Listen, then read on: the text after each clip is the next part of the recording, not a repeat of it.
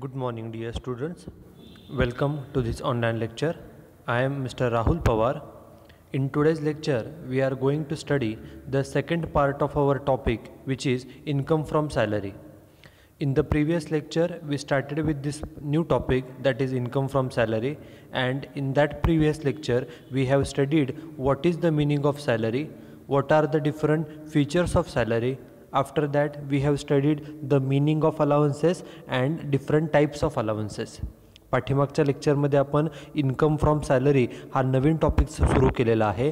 आणि या पाठीमागच्या लेक्चरमध्ये आपण सॅलरी म्हणजे काय? सॅलरीची वैशिष्ट्ये कोणकोणती असतात? त्याचबरोबर अलाउन्सेस म्हणजे काय? आणि अलाउन्सेसचे प्रकार कोणकोणते असतात? हे आपण प्रिव्हियस लेक्चरमध्ये पाहिलेलं आहे. In this particular lecture we are going to study the another theoretical part of the topic and it is the concept of perquisites आजच्या या लेक्चरमध्ये आपण इन्कम फ्रॉम सॅलरी या टॉपिकमधील जो अजून एक थेरॉटिकल पार्ट आहे तो म्हणजे परक्विजिट परक्विजिट म्हणजे काय? परक्विजिट कोणकोणते दिले जातात हे आपण या लेक्चरमध्ये पाहणार आहोत.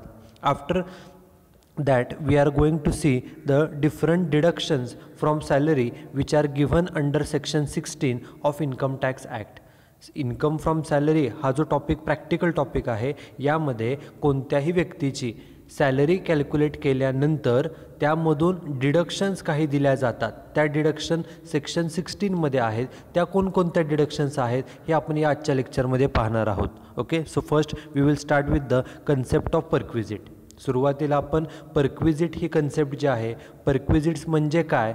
परक्विजिट कशाला म्हटलं जातं आणि कोणकोणत्या मार्गाने परक्विजिट्स हे पुरवले जातात हे आपण या पॉईंटमध्ये पाहणार आहोत. Okay so let start with the meaning of perquisite perquisite म्हणजे काय? त्या तिथपासून आपण सुरुवाती करणार आहोत.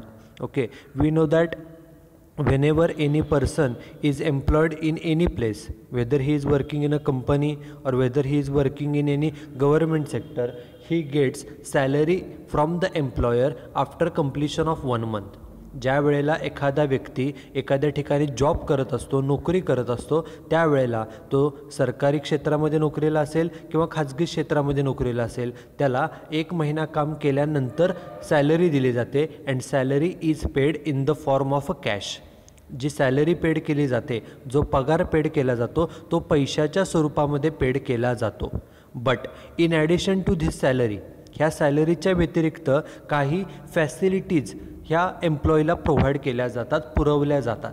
ओके मग परक्विजिटचा अर्थ काय होतो? तर बघा perquisites are the facilities or benefits given to employee in addition to salary okay म्हणजे सॅलरीच्या व्यतिरिक्त सॅलरी तर दर महिन्याला दिली जातेच पण त्याच्याबरोबर अजून काही बेनिफिट्स काही फायदे आणि काही फॅसिलिटीज प्रोव्हाइड केल्या जातात आपल्या एम्प्लॉयला आणि त्या ज्या काही फॅसिलिटीज प्रोव्हाइड केल्या जातात किंवा बेनिफिट्स एम्प्लॉयला दिले जातात ते in the form of cash असतील पैशाच्या स्वरूपामध्ये त्या फॅसिलिटीज असतील बेनिफिट्स असतील किंवा in the form of kind असतील. ते एखाद्या वस्तूच्या स्वरूपामध्ये सर्व्हिसच्या स्वरूपामध्ये ह्या फॅसिलिटीज प्रोव्हाइड केल्या जातात आणि त्याला परक्विजिट्स असं म्हटलं जातं. So what is perquisites perquisites means the benefits the facilities given to employee in addition to salary एखाद्या कर्मचाऱ्याला एखाद्या एम्प्लॉईला पगारा तर दिला जातोच दर महिन्याला पगार तर दिला जातोच पण पगाराच्या व्यतिरिक्त इन ॲडिशन टू सॅलरी पगार दिला जातोच पण पगाराबरोबर इतर काही फॅसिलिटीज सोयीसुविधा काही बेनिफिट्स काही फायदे दिले जातात ते जे काही ॲडिशनल फॅसिलिटीज दिल्या जातात ॲडिशनल बेनिफिट्स पुरवले जातात त्याला परक्विझिट्स असं म्हटलं जातं. So perquisites means the benefits the facilities provided to employee in addition to his regular salary नियमितपणे सॅलरी दर महिना संपल्यानंतर सॅलरी तर दिली जातेच पण त्याच्याबरोबर त्या एम्प्लॉईला काही फॅसिलिटीज काही बेनिफिट्ससुद्धा दिले जातात. त्या फॅसिलिटीजला त्या बेनिफिट्सलाच परक्विजिट्स असं म्हटलं जातं. आणि हे जे काही बेनिफिट्स आहेत ह्या ज्या काही फॅसिलिटीज आहेत त्यापैकी काही फॅसिलिटी ह्या पैशाच्या स्वरूपामध्ये असतात आणि काही फॅसिलिटी ज्या आहेत त्या काइंड म्हणजे बिगर पैशाच्या स्वरूपामध्ये म्हणजे वस्तूच्या स्वरूपामध्ये किंवा काही कन्सेशनच्या स्वरूपामध्ये इतर कोणत्या मार्गाने त्या फॅसिलिटीज ह्या प्रोव्हाइड केल्या जातात. It is called as a perquisites and out of these perquisites out of these benefits which are given to employee some benefits are given at a free of cost काही facilities काही सोयीसुविधा ह्या फ्रीमध्ये फुकट दिल्या जातात. एम्प्लॉयकडून त्यासाठी एक रुपयासुद्धा घेतला जात नाही. Some facilities some benefits are given at a free of cost and some benefits are given at a concessional rates okay काही फॅसिलिटीज काही बेनिफिट्स हे एकदम कन्सेशनल दरामध्ये पुरवल्या जातात. एक साधं सोपं उदाहरण घ्या. We know that in a company thousands of employees are working एखादी मोठी कंपनी असेल तर त्या कंपनी हजारो एम्प्लॉईज हे काम करत असतात. आणि त्या एम्प्लॉईसाठी there is always a canteen in the company canteen त्या कंपनीमध्ये नेहमी असतं आणि त्या कॅन्टीनमध्ये एम्प्लॉईसाठी लंच असेल ब्रेकफास्ट असेल टी असेल ह्या सर्व फॅसिलिटी पुरवल्या जातात. And the some companies provides this tea snacks breakfast meal etcetera to the employees at a concessional rates हे ज्या काही फॅसिलिटीज आहेत मग तो चहा असेल नाश्ता असेल जेवण असेल किंवा इतर काही गोष्टी असतील या बाकीच्या ठिकाणी जेवढा दर असतो त्यापेक्षा कमी दरामध्ये कन्सेशनल रेटमध्ये ह्या फॅसिलिटी पुरविल्या जातात. ओके काही फॅसिलिटी सवलतीच्या दरामध्ये दिल्या जातात काही कंपन्या तर ह्या ज्या काही फॅसिलिटीज आहेत मग टी असेल ब्रेकफास्ट असेल किंवा लंच असेल some companies provides this facilities to employee at a free of cost the company does not charge a single amount of rupee for these facilities काही कंपन्या ज्या आहेत त्या आपल्या एम्प्लॉईसाठी चहा असेल नाश्ता असेल किंवा इतर काय फॅसिलिटीज असतील ह्या फ्रीमध्ये प्रोव्हाइड करतात. त्या फॅसिलिटी ब बाबत एकही रुपया त्या एम्प्लॉईकडून घेतला जात नाही. So the facilities the benefits which are provided to employee in addition to salary are called as a perquisites प्रत्येक कर्मचाऱ्याला प्रत्येक एम्प्लॉईला दर महिन्याला पगार तर दिला जातोच पण त्या पगाराच्या बरोबर इतर काही फॅसिलिटीज इतर काही बेनिफिट्ससुद्धा पुरवले जातात. त्या फॅसिलिटीजला त्या बेनिफिट्सला परक्विजिट्स असं म्हटलं जातं. And some perquisites are given in a cash काही परक्विजिट्स काही फॅसिलिटीज हे पैशाच्या स्वरूपामध्ये दिले जातात and some perquisites are given in the form of a kind काही परक्विजिट्स काही फॅसिलिटीज काही बेनिफिट्स हे वस्तूच्या स्वरूपामध्ये सर्व्हिसच्या स्वरूपामध्ये सुद्धा दिले जातात. Okay some perquisites are given at a free of cost and some perquisites are given at a concessional rates जे काही फॅसिलिटीज आहेत जे काही बेनिफिट्स आहेत त्यापैकी काही फॅसिलिटीज काही बेनिफिट्स हे फ्रीमध्ये दिले जातात आणि काही फॅसिलिटीज ह्या प्रोव्हाइड करताना त्या सवलतीच्या दरामध्ये हा प्रोव्हाइड केल्या जातात. It is called as a perquisites and following are the different following are the different perquisites given to employee okay काही एम्प्लॉयला दिले जाणारे परक्विजिट्स कोणकोणते? तर आपण ते इथं पाहणार आहोत.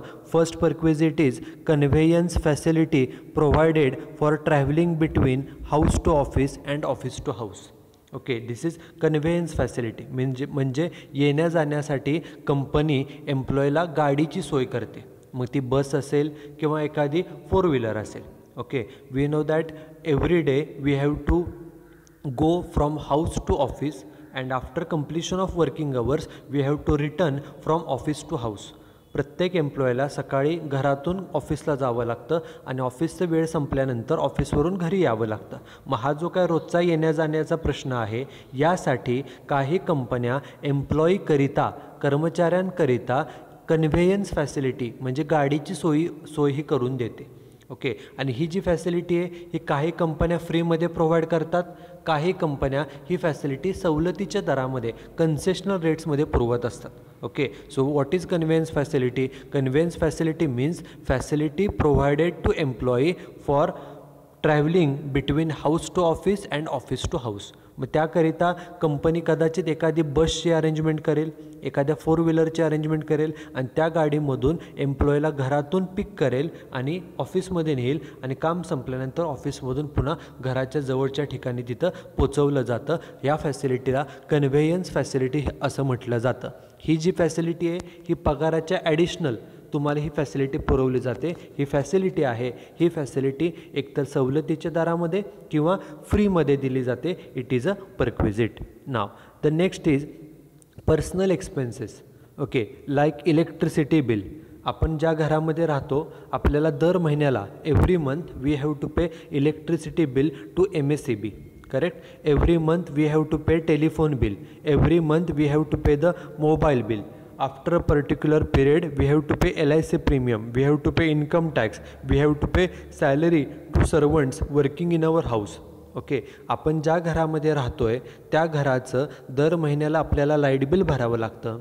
दर महिन्याला टेलिफोन बिल भरावं लागतं. दर महिन्याला आपल्या मोबाईलचं बिल पेड करावं लागतं. आपला जर इन्शुरन्स असेल तर इन्शुरन्सचा प्रीमियम पेड करावा लागतो. आपल्याला आपला इन्कम टॅक्स पेड करावा लागतो. आपल्या घरामध्ये जर काही एम सर्वंट्स म्हणजे नोकर काम करत असेल त्यांना पगार द्यावा लागतो. हे सर्व खर्च जे आहेत मग तो लाइट बिलचा असेल पाणी बिलचा असेल टेलिफोनचा असेल मोबाईलचा असेल इन्कम टॅक्सचा असेल एल आय सीचा असेल किंवा नोकरांच्या पगाराचा खर्च असेल all these expenses are our personal expenses and we have to pay these expenses तो खर्च आपला आहे आपण घरात लाइट वापरतो आहे आपण घरामध्ये पाणी वापरतो आहे आपण टेलिफोन वापरतो आहे आपल्या घरात नोकर काम करतात त्यामुळे त्यांचा जो काय खर्च आहे तो खर्च करणं ही आपली पर्सनल जबाबदारी आहे तो आपला पर्सनल खर्च आहे. And some companies pays these personal expenses of the employee हे जे काही खर्च आहेत these expenses are paid by the company आपण ज्या कंपनीमध्ये काम करतो काही कंपन्या काय करतात तर आपला जो कोण एम्प्लॉई आहे त्याला पगार तर देतातच. प्लस त्याबरोबर आपला कर्मचारी आपला एम्प्लॉई ज्या घरामध्ये राहतो आहे त्या घराचं लाइट बिल त्या घराचं पाणी बिल त्या घराचं टेलिफोन बिल त्या घरातील मोबाईल बिल त्यांचा इन्कम टॅक्सचा खर्च एल आय सीचा हप्ता असेल नोकरांचा पगार असेल हे पर्सनल खर्च जरी असले त्या स्वतः एम्प्लॉईचे तरीसुद्धा हे खर्च कंपनी पेड करते. मग आता साहजिक आहे कंपनीनं पैसे पेड केले घरातलं लाइट बिल कंपनीच भरते घरातलं पाणी बिल कंपनी पेड करते. त्यानंतर टेलिफोन बिल मोबाईल बिल सर्व जर कंपनी पेड करत असेल साहजिक आहे आपल्या एम्प्लॉईचे पैसे वाचले हा फायदा आहे याला बेनिफिट असं म्हटलं जातं. And this benefit is given to employee in addition to this salary पगाराच्या व्यतिरिक्त पगार तर दिला जातोच पण त्याच्या ॲडिशनल हा जे काही पर्सनल खर्च आहे हे खर्चसुद्धा कंपनीने पेड केले म्हणजे एम्प्लॉईला फायदा झाला त्यामुळे ह्या फायद्याला परक्विजिट्स असं म्हटलं जातं. Okay this is second Third benefit or facility is club facility provided. Okay, we know that there are different types of clubs. For example, health club, for example, sports club, for example, dance clubs, okay, etc. etc. There are various types of clubs, and some companies provides this club facility to our employees. And what is the objective behind providing this facility he facility कशासाठी दिली जाते उदाहरणार्थ take a very simple example some companies provides health club facility to the employees. And the object is if the employee goes to the health club then automatically the health of the employees will be maintained in a good manner उद्देश काय आहे? तर आपल्या employees जर health क्लबला गेले तर त्यांचा fitness व्यवस्थित राहील ते इफिशियन्सीनं काम करतील ते जास्त आजारी वगैरे पडणार नाहीत त्याच्यामुळे कंपनीचं काम व्यवस्थित चालेल. या उद्देशानं आपल्या कंपनी आपल्या एम्प्लॉईला हेल्थ क्लब फॅसिलिटी प्रोव्हाइड करते. Take another example of sports club ज्या वेळेला काही कंपन्या स्पोर्ट्स क्लबची फॅसिलिटी प्रोव्हाइड करतात ऑब्जेक्टिव्ह काय आहे? तर त्यामुळे आपले एम्प्लॉय फिट राहावे त्यामुळे ते खुश राहावे आणि त्यांनी चांगल्या कंपनीसाठी काम करावं. And some companies provides this club facility at a concessional rates and some companies provide this facility at a free of cost काही कंपन्या आपल्या एम्प्लॉईसाठी ही फॅसिलिटी फ्रीमध्ये प्रोव्हाइड करतात मोफत पुरवतात आणि काही कंपन्या यासाठी काही थोडेफार कन्सेशनल रेटमध्ये सवलतीच्या दरामध्ये ही फॅसिलिटी पुरवत असतात. Okay so this is one additional facility given to employee in addition to the salary पगार तर दिला जातोच दर महिन्याला पण पगाराबरोबर ह्यासुद्धा काही फॅसिलिटी दिल्या जातात ज्या पगाराव्यतिरिक्त फॅसिलिटी दिल्या जातात त्याला परक्विजिट्स असं म्हटलं जातं. Now the next fourth facility is free clothes given okay some companies provides clothes at a free of cost to the employees okay आणि जे क्लोथ्स प्रोव्हाइड केले जातात some companies provides clothes at a free of cost at on certain occasions like Diwali okay काही कंपन्या काय करतात? तर वर्षभरामध्ये एखाद्या ठराविक ऑकेजनला मग ते कंपनीचं समजा वर्ष पूर्ण झाला असेल तो असेल दिवस किंवा दिवाळी असेल किंवा अजून कोणता दिवस असेल या दिवशी कंपन्या आपल्या एम्प्लॉईला क्लोज प्रोव्हाइड करतात. काही कंपन्या जो काय कंपनीचा युनिफॉर्म असतो तो युनिफॉर्मसुद्धा एम्प्लॉईजला दोन किंवा तीन युनिफॉर्म फ्रीमध्ये देतात. ओके साहजिक आहे आपल्याला युनिफॉर्म असेल ड्रेस असेल हे फ्रीमध्ये मिळालं त्यामुळे साहजिकही आपल्याला फायदा झाला आपल्याला बेनिफिट आहे आणि हा बेनिफिट पगाराच्या व्यतिरिक्त प्रोव्हाइड केला जातो त्यामुळे त्याला परक्विजिट असं म्हटलं जातं. Okay so this is one another example of perquisite now the next perquisite is free holiday home facility okay this is one new concept free holiday home we know that some employees goes for a फॅ with family for a trip आपल्या कंपनीमध्ये काम करणारे जे employee अस employees असतात ते आपल्या फॅमिलीबरोबर वर्षातून एकदा दोनदा किंवा दोन वर्षातून एकदा फॅमिलीबरोबर ट्रिपला जातात.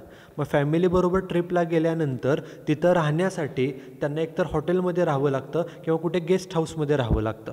ओके काही कंपन्या आपल्या एम्प्लॉईच्या राहण्यासाठी हॉलिडे होम फॅसिलिटीसुद्धा प्रोव्हाइड करतात. म्हणजे जे काय रिनाऊंड प्लेसेस प्लेसेस आहेत जे काही महत्त्वाची शहरं आहेत त्या ठिकाणी कंपनीचं हो residential home facility holiday home facility तिथं अवेलेबल असते. त्यामध्ये एम्प्लॉईला फ्रीमध्ये तिथं राहण्याची सोय केली जाते. किंवा जर तिथं राहण्याची सोय कंपनीची नसेल तर कंपनी त्या एम्प्लॉईला एखाद्या हॉटेलमध्ये चांगल्या हॉटेलमध्ये राहण्याची सोय फ्री ऑफ कॉस्टमध्ये करून देते. म्हणजेच काय? एम्प्लॉई आपल्या फॅमिलीबरोबर ट्रिपसाठी गेलेला आहे आणि तिथं राहण्याचा जो काय खर्च आहे तो खर्च एक प्रकारे कंपनी करते. ही कंपनीनं दिलेली एक फॅसिलिटी आहे एक बेनिफिट आहे. And this facility this benefit is provided to employee in addition to the salary and therefore it is called as a perquisite ही जी काय फॅसिलिटी आहे हा जो काय बेनिफिट आहे हा आपल्या एम्प्लॉईला पगारच्या व्यतिरिक्त हा प्रोव्हाइड केला जातो. या त्यामुळे या फॅसिलिटीला बेनिफिटला परक्विजिट असं म्हटलं जातं. This is fifth example now the next example is free meal and breakfast we know the meaning of breakfast breakfast means नाश्ता okay and what is the meaning of meal meal means जेवण okay in certain companies the working hours starts on eight A M and it ends on five P M or six P M काही कंपन्यांचं जी वेळ असते ते सकाळी आठला timing चालू होतं ऑफिसचं आणि संध्याकाळी पाचपर्यंत सहापर्यंत कंपनीचं टायमिंग हे असतं. मग हा जो काय ऑफिसचा आवर्स आहे during the office hours company provides tea company provides breakfast company provides meal at a free of cost or at a concessional rates ह्या जे काय ऑफिसची वेळ आहे सकाळी आठ नऊपासून जे चालू होते ते संध्याकाळी पाच सहापर्यंत हा जो काय वेळ आहे या वेळामध्ये आपल्या कंपनी आपल्या कर्मचाऱ्यांना नाश्ता असेल चहा असेल किंवा जेवण असेल हे फ्रीमध्ये किंवा सवलतीच्या दरामध्ये ती पुरवत असते. ओके? आणि ही फॅसिलिटी आहे. फ्रीमध्ये मिळालं तर बेनिफिटच आहे.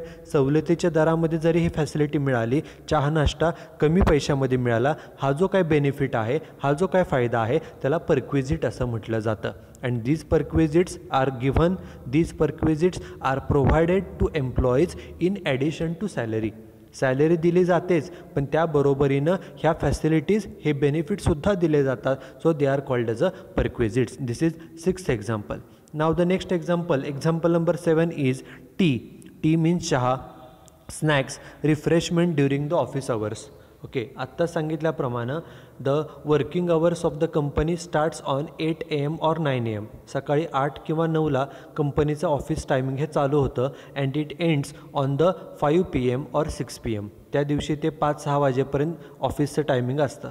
आणि या office अवर्समध्ये during this office hours the company provides tea facility snacks refreshment to the employees आणि हे जे काय चहा दिला जातो किंवा स्नॅक्स प्रोव्हाइड केले जातात रिफ्रेशमेंटसाठी काय दिलं जातं हे कंपनी फ्रीमध्ये किंवा सवलतीच्या दरामध्ये प्रोव्हाइड करते. So this is a facility which is given to employee at a free of cost or at a concessional rate and this facility is given in addition to salary सॅलरीबरोबर ही फॅसिलिटीसुद्धा दिली जाते. So it is called as a perquisite and last example of perquisite is computer or laptop given for use we know that computer and laptop cost more than rupees thirty thousand or forty thousand एखादा computer असेल किंवा laptop असेल याची किंमत तीस चाळीस हजारापेक्षा जास्त असते.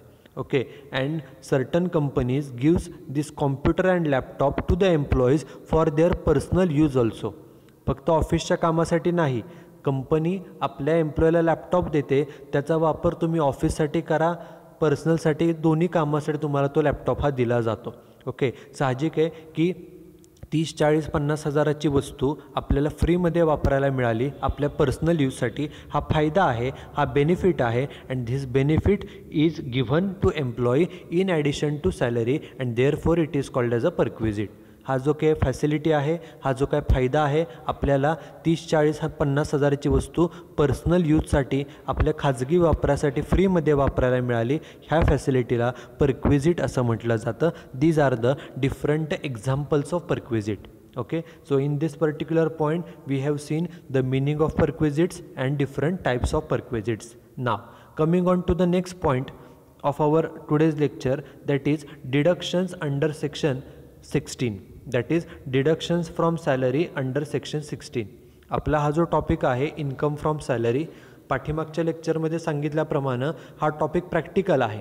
या टॉपिकमध्ये आपण कोणताही एम्प्लॉई कोणताही कर्मचाऱ्याचं आपण वर्षभराचं सॅलरी इन्कम हे कॅल्क्युलेट करणार आहोत. Okay this topic is a practical topic and in this particular topic we are going to study how to calculate the annual salary the taxable salary of any individual person मग आता त्यासाठी आपण जसं पाठीमागच्या टॉपिकमध्ये income from house property या टॉपिकमध्ये आपण सेक्शन ट्वेंटी फोर सेक्शन चोवीसच्या डिडक्शन्स पाहिल्या तसंच सेम त्याप्रमाणे आपल्याला जो इन्कम फ्रॉम सॅलरी हा आपला सध्याचा टॉपिक आहे या टॉपिकमध्ये कोणकोणत्या डिडक्शन्स आहेत? आणि त्या डिडक्शन्स ह्या सेक्शन सिक्स्टीनमध्ये दिलेल्या आहेत. हा प्रश्न ऑब्जेक्टिव्हसाठी सुद्धा विचारला जातो की सॅलरीच्या डिडक्शन कोणत्या सेक्शनमध्ये आहेत तर deductions are given under section sixteen of income tax act. Income tax ॲक्टचा जो सेक्शन सोळा आहे त्यामध्ये ह्या डिडक्शन्स आहेत. ह्या डिडक्शन्स किती आहेत? तर एकूण तीन डिडक्शन्स आहेत.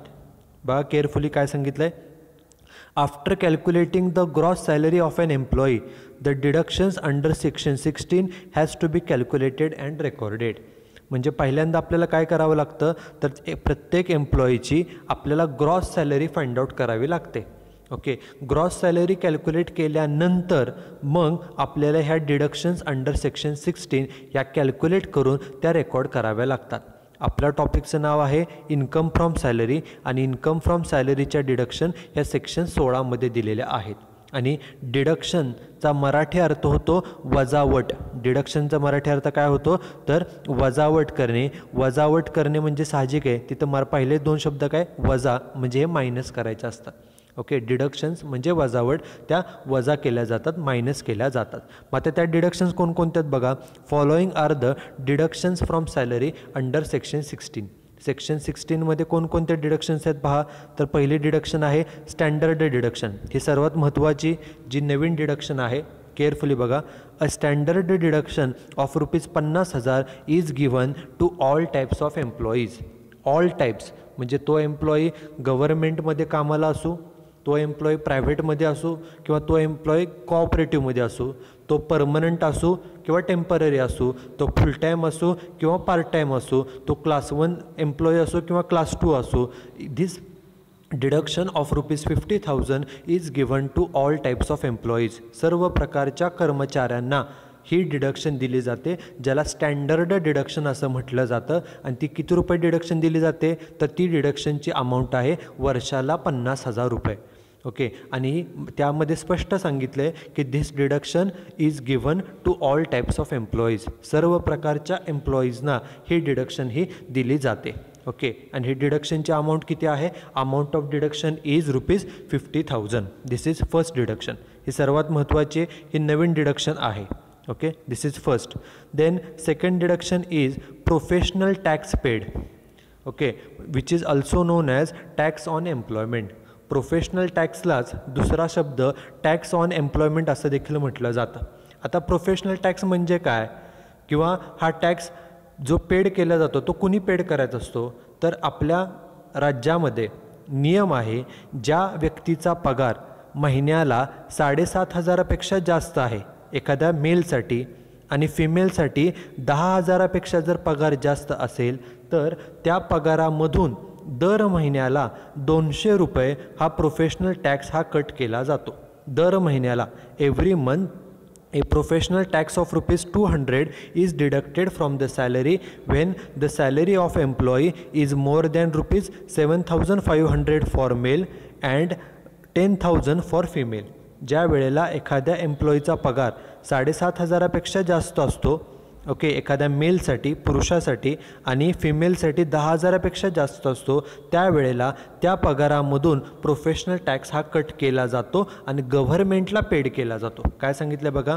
When the monthly salary of an employee जेव्हा महिन्याचा पगार it is more than seven thousand five hundred for male पुरुष एम्प्लॉई असेल तर साडेसात हजारापेक्षा जास्त असेल and rupees ten thousand for female female असेल फिमेल एम्प्लॉई तर दहा हजारापेक्षा जर जास्त असेल तर a professional tax is deducted before making payment of salary त्यामुळं सॅलरी पेड करण्यापूर्वी त्या पगारामधून महिन्याला दोनशे रुपये हे कट केले जातात वजा केले जातात. अँड ते डिडक्ट करून मग सॅलरी पेड केली जाते. उदाहरणार्थ एखाद्या एम्प्लॉईचा पगार जर समजा वीस हजार रुपये असेल तर त्या वीस हजारामधून पहिल्यांदा दोनशे रुपये प्रोफेशनल टॅक्स कट केला जाईल आणि नंतरच जे काय राहिलेला त्याचा पगार आहे तो त्याला पेड केला जातो. आणि हा जो काय टॅक्स कट केला जातो this deducted tax is deposited with the government हा जो काही टॅक्स कट केलेला आहे प्रत्येक महिन्याला तो कट करून तो गव्हर्मेंटला जमा केला जातो. आणि हा जो काही टॅक्स तुमचा कट होईल तो नॉर्मली किती कट होतो? तर नॉर्मली महिन्याला दोनशे रुपये एवढा तो कट होतो. ओके किती? वर्षभरात महिने असतात बारा पण पहिले अकरा महिने. हा दोनशे रुपयाप्रमाणे कट केला जातो. दोनशे गुणिले अकरा म्हणजे त्याची अमाऊंट येते दोन हजार दोनशे. बरोबर? हे अकरा महिन्यात झालं. अकरा महिन्यात हिशोब झाला. आणि शेवटच्या महिन्यामध्ये मात्र तीनशे रुपये कट केले जातात. आणि असं मिळून जर तुम्ही टोटल केली तर वर्षभरामध्ये एकूण तुमचा दोन हजार पाचशे रुपये एवढा प्रोफेशनल टॅक्स हा कट केला जातो. ओके प्र पहिले अकरा महिने दोनशे रुपये महिना प्रमाणे कट केले जातात आणि शेवटच्या एक महिन्यामध्ये मात्र तीनशे रुपयेप्रमाणे हा टॅक्स कट केला जातो आणि असे एकूण वर्षभराचे दोन हजार पाचशे रुपये कट केले जातात. मग हे जे तुमचे पैसे कट होतात हे सर्वांचे कट केले जातात. तो परमनंट असो नाहीतर टेंपररी असो तो गव्हर्मेंट एम्प्लॉई असो नाहीतर प्रायव्हेट सेक्टर असो तो फुल टाईम असो किंवा पार्ट टाईम असो तो एम्प्लॉई क्लास वन लेवलला कामाला असो किंवा क्लास टूज असो प्रत्येक एम्प्लॉईच्या पगारातून हा टॅक्स कट केला जातो. त्यामुळे नियम काय? तर ही जी काही प्रोफेशनल टॅक्सची डिडक्शन आहे हे कुणाला मिळते? This deduction is available to all types of employees सर्वांना ही सूट मिळते. तुम्ही जेवढा टॅक्स पेड केला आहे वर्षभरामध्ये तेवढ्या सर्व रकमेची तुम्हाला डिडक्शन मिळते. काय सांगितलं बघा? An employee who pays professional tax gets this deduction हे वाक्य सर्वात महत्त्वाचं. जो एम्प्लॉई प्रोफेशनल टॅक्स पेड करतो त्याला ही सूट मिळते. ओके कुठलाही एम्प्लॉय असो कोणताही असो तो गव्हर्मेंट असो प्रायव्हेट असो किंवा कोऑपरेटिव्हमध्ये असो तो एम्प्लॉई परमनंट असो किंवा टेंपररी तो पार्ट टाईम असो किंवा फुल टाईम तो क्लास वनचा असो किंवा क्लास फोरचा असो जो व्यक्ती प्रोफेशनल टॅक्स पेड करतो त्याला ही डिडक्शन मिळते. आणि किती मिळते? The actual amount of professional tax paid during the year. तुम्ही वर्षभरामध्ये एकूण किती टॅक्स पेड केला आहे is fully allowed as a deduction. वर्षभरामध्ये तुम्ही जेवढा टॅक्स पेड केला असेल तेवढ्या सर्व रकमेची डिडक्शन तुम्हाला मिळते आणि कुणाला मिळते?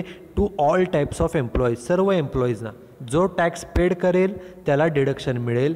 जेवढा टॅक्स पेड केला आहे तेवढ्या रकमेची डिडक्शन मिळते. This is called as a second deduction which is professional tax paid he professional tax पेडची सेकंड डिडक्शन आहे. पहिली डिडक्शन आपण मगाशी पाहिली ती आहे स्टँडर्ड डिडक्शन आणि तीसुद्धा मगाशी पाहिल्याप्रमाणे this deduction is available to all types of employee फक्त ती डिडक्शनची अमाऊंट फिक्स आहे. प्रत्येकाला सांग एक्झाम्पलमध्ये म्हणजे आपल्याला सांगण्याची सुद्धा गरज नाही. ओके न सांगता प्रत्येक एम्प्लॉयला ही स्टँडर्ड डिडक्शन पन्नास हजाराचीच द्यायची असते. तो कुठेही कामाला असो government private cooperative permanent temporary part time full time class one class four every type of employee gets a deduction of rupees fifty thousand it is a standard deduction हे न सांगता द्यावी लागते. ही जी सेकंड डिडक्शन आपण आत्ता पाहिली professional टॅक्सची ही deduction कुणाला मिळते?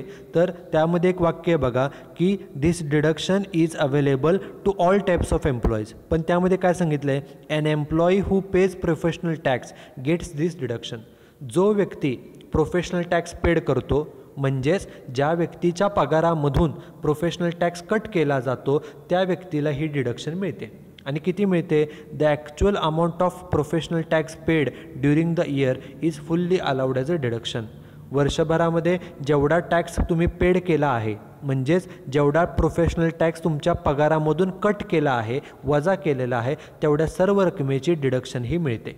This is second deduction of professional tax now the third deduction जी तिसरी डिडक्शन आहे ती कोणती आहे? Third deduction is of entertainment allowance entertainment okay करमणुकीसाठी कंपन्या गव्हर्मेंट आपल्या एम्प्लॉईजला एंटरटेनमेंट अलाउन्स देते. एंटरटेनमेंट म्हणजे करमणूक.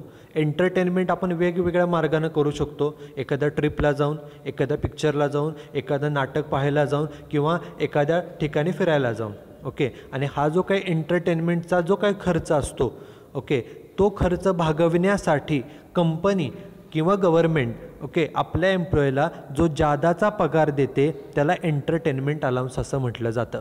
Entertainment allowance is given to employee to meet the entertainment expenses of his own and family members काय सांगितले बघा? Entertainment allowance is given to employee कशासाठी?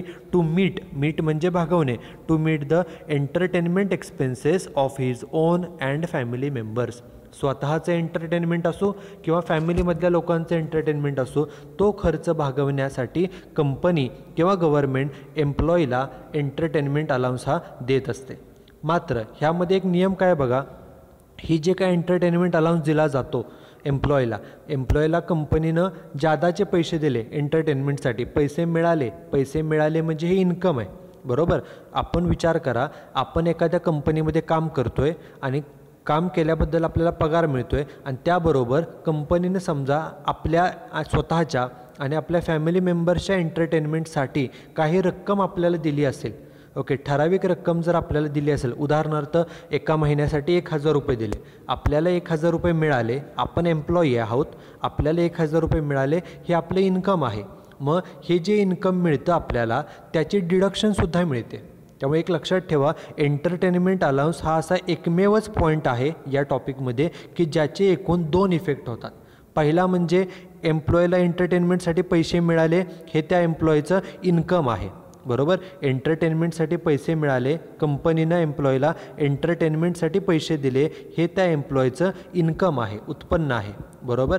आणि त्याचबरोबर हा एक इफेक्ट झाला. आणि दुसरा इफेक्ट ज्या आपण आत्ता डिडक्शन पाहतो आहे डिडक्शन्स अंडर सेक्शन सिक्स्टीन तिथंसुद्धा त्याचा इफेक्ट हा केला जातो.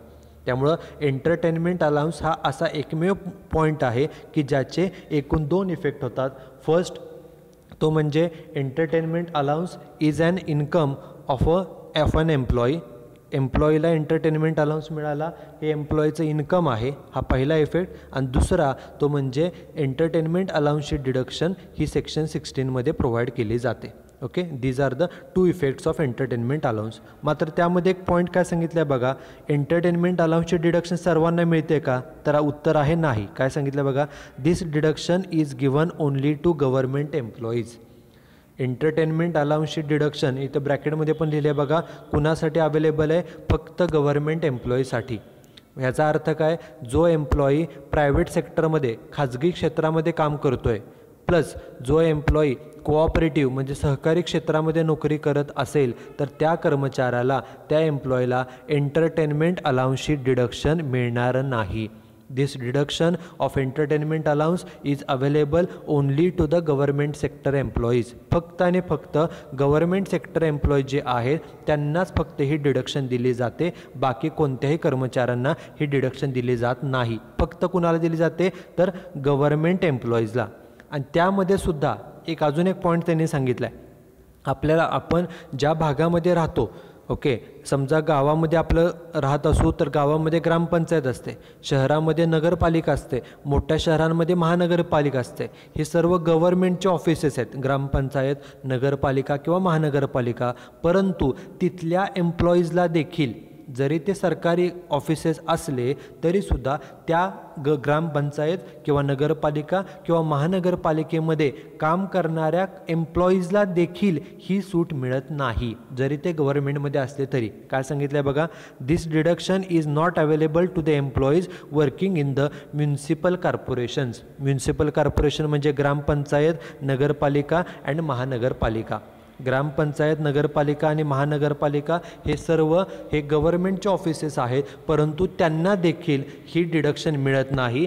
ते सोडून म्युन्सिपल कॉर्पोरेशन ग्रामपंचायत नगरपालिका महानगरपालिकेचे कर्मचारी सोडून इतर सर्वांना ही डिडक्शन ही प्रोव्हाइड केली जाते. ओके बाकी सर्व गव्हर्मेंट एम्प्लॉईजला ही फॅसिलिटी जी आहे ही डिडक्शन जी आहे ती अवेलेबल आहे. त्यामुळे ही जी डिडक्शन आहे एंटरटेनमेंट अलाउन्सची ही डिडक्शन कुणासाठी आहे? This deduction is available only to the government sector employees जे गव्हर्मेंट एम्प्लॉईज आहेत त्यांना आणि गव्हर्मेंटमध्ये सुद्धा म्युन्सिपल कॉर्पोरेशनमधल्या एम्प्लॉईजला ही डिडक्शन मिळत नाही. Okay this is entertainment allowance पण पुन्हा प्रश्न येतो की डिडक्शन मिळताना किती रुपयाची मिळते? डिडक्शनची अमाऊंट किती असते? तर त्याच्यासाठी आपल्याला पुढे त्यांनी काय सांगितलं बघा. The amount of deduction is calculated as follows okay पाठीमागच्या ज्या दोन्ही डिडक्शन्स होत्या बघा पहिली सांगितलेली स्टँडर्ड डिडक्शनची अमाऊंट पन्नास हजार आहे ती सर्वांना कॉमन आहे त्यामुळे तिथं अमाऊंटचा काय प्रश्न नाही. दुसरी जी डिडक्शन आहे प्रोफेशनल टॅक्स पेड त्यामध्ये सुद्धा लास्ट सेंटेन्स काय होतं? Actual amount of tax paid is allowed as a deduction तुम्ही वर्षभरात जेवढा टॅक्स पेड करता ओके तेवढ्या सर्व रकमेची डिडक्शन मिळते. म्हणजे अमाऊंटसुद्धा आपल्याला इझिली कॅल्क्युलेट करता येते. आपल्याला एक्झाम्पलमध्ये ती दिलेलीच असते. परंतु हे जे काय एंटरटेनमेंट अलाउन्स आहे ओके त्याची डिडक्शन किती रुपये मिळते तर त्यासाठी आपल्याला ही वर्किंग नोट करावी लागते. काय सांगितलं बघा the amount of deduction is calculated as follows डिडक्शनची रक्कम कशी शोधायची? बघा अमाऊंट ऑफ डिडक्शन किती मिळते? मिनिमम ऑफ फॉलोईंग थ्री त्यासाठी आपल्याला एकूण तीन अमाऊंट शोधून काढायच्या आहेत. आणि ह्या तीनपैकी जी मिनिमम मिनिमम म्हणजे लहान रक्कम असेल तेवढ्याची आपल्याला डिडक्शन मिळते. बघा त्यातली पहिली अमाऊंट काय? ॲक्च्युअल एंटरटेनमेंट अलाउन्स रिसिवड आपल्याला एंटरटेनमेंटसाठी ॲक्च्युली किती रुपये मिळाले वर्षभरामध्ये? समजा महिन्याला एक हजार रुपये मिळत असतील तर बारा महिन्याचे वर्षभराचे रुपये आपल्याला किती रुपये मिळाले? बारा हजार मिळाले. एखाद्याला महिन्याला दोन हजार मिळत असतील तर बारा महिन्याचे एकूण त्याला किती मिळाले? तर चोवीस हजार रुपये मिळाले. ॲक्च्युली एंटरटेनमेंटसाठी किती रुपये मिळाले? ही झाली पहिली अमाऊंट ही एक. सेकंड असतं ते म्हणजे ट्वेंटी पर्सेंट वीस टक्के ऑफ बेसिक सॅलरी त्या व्यक्तीचा जो काय बेसिक पगार आहे मूळ पगार बेसिक सॅलरीला मराठीमध्ये मूळ पगार असं म्हटलं जातं. त्याला काय म्हणतो आपण? तर मूळ पगार. तो आपल्याला एक्झाम्पलमध्ये दिलेला असतो. ओके? जो काय बेसिक पगार आहे पूर्ण वर्षाचा एका दिवसाचा नाही आपण इन्कम वर्षाचं कॅल्क्युलेट करतो पर ॲनम ओके? जो काय वर्षाचा बेसिक पगार असेल त्याच्या ट्वेंटी पर्सेंट रक्कम घ्या. ती घ्यायची.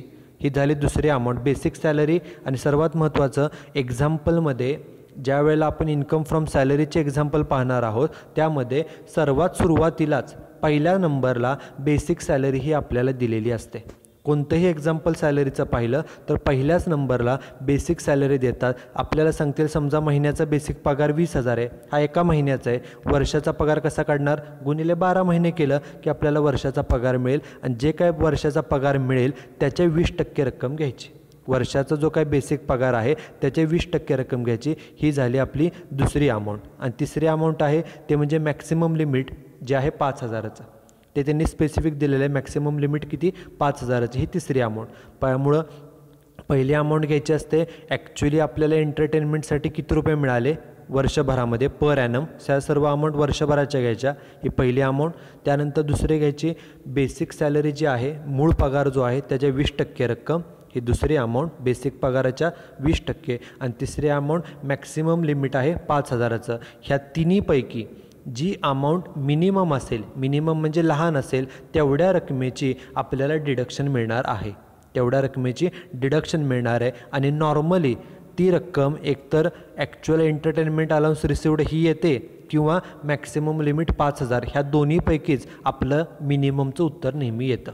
okay this is deduction of entertainment allowance okay so in this particular point we studied the different deductions one minute in this lecture we studied the different deductions from salary under section 16 First deduction is standard deduction which is rupees fifty thousand and which is given to all types of employees जी सर्व एम्प्लॉईजला provide केली जाते this is first second deduction is professional tax paid This deduction is also available to all types of employees सर्व एम्प्लॉईजला ही deduction available आहे. आणि किती available आहे? Actual जेवढा तुम्ही टॅक्स पेड करता तेवढ्या रकमेची डिडक्शन ही तुम्हाला दिली जाते. And this is available to all types of employee जो प्रोफेशनल टॅक्स पेड करेल जेवढा पेड करेल तेवढ्या सर्व रकमेची डिडक्शन मिळते. And this is the third deduction of entertainment allowance which is available only to government sector employees ही तिसरी deduction जी आहे ती फक्त गव्हर्मेंट एम्प्लॉईजला मिळते. आणि डिडक्शन कशी कॅल्क्युलेट करायची हे आपण आत्ताच या पॉईंटमध्ये पाहिलेलं आहे. Okay so that's it with today's lecture in today's lecture we started with the concept of perquisites आपण सुरुवातीला परक्विजिट्स म्हणजे काय?